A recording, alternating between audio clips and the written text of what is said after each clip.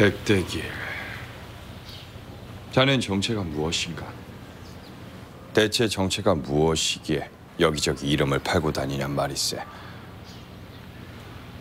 전하이시옵니까? 이 인좌를 풀어주니까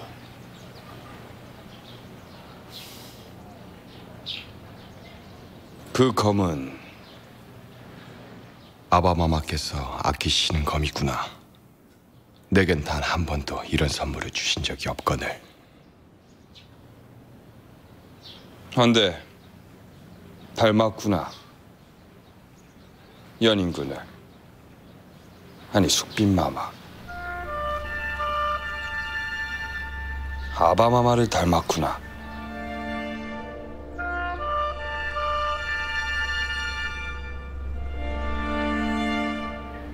자네 아버지가 투정꾼 백만금이라지. 어찌 아시옵니까? 자네 모를 테지. 오래전에 자네 아비가 궐에 붙잡혀 온 적이 있었네.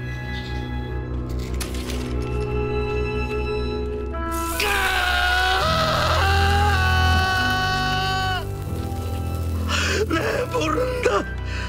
내 모른다 하셔라스. 어릴 적 일이라 나 또한 기억이 가물가물하네만. 자네 생년이시가 어찌 되는가?